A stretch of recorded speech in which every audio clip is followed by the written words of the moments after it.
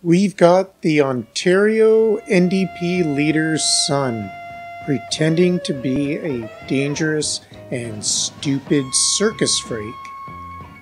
His job is to terrify the animals and the children into thinking that every man who's smart enough to see the canola scam must also be a stupid, dangerous, gun toting, toilet paper loser turd creep as well.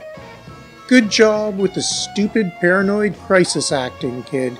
The almighty COVID loves you, and he's saving a place for you in canola tardia heaven. Your mom should be proud hauling you out on stage to get the job done. Whatever it takes, however long it takes. Bravo! A life of selling out awaits. Nobody loves me but my mother.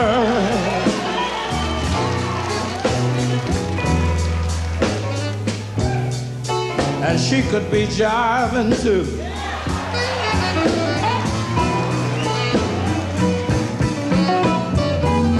Nobody loves me but my mother. She could be jiving too.